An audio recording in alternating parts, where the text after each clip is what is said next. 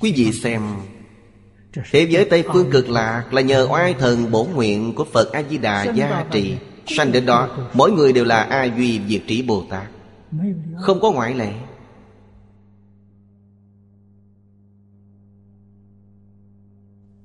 Lợi ích tốt như vậy Trong mười phương quốc độ của chư Phật Không có. Biến Pháp giới hư không giới Chỉ có thế giới cực lạc này có. Ngoài ra đều không có. Đời này chúng ta có thể gặp được. Ta chịu dễ dàng bỏ qua chăng?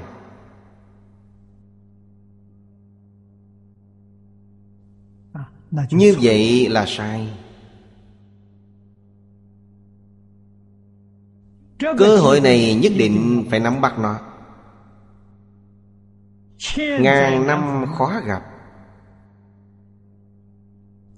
Trong bài kệ khai kinh nói Bách thiên dạng kiếp nan tao ngộ Lời này là chân thật không hề hư dối.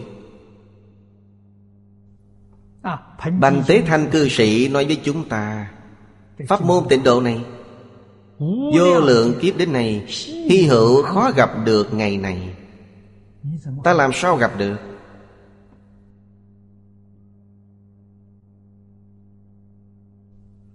Ta gặp được, Nhưng lỡ bỏ qua cơ hội, Như vậy mới thật là đáng tiếc.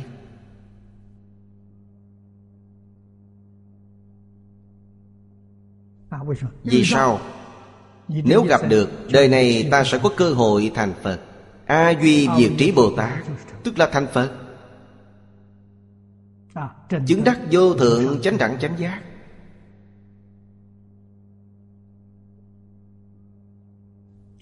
Nhất định không nên bỏ lỡ qua một lần nữa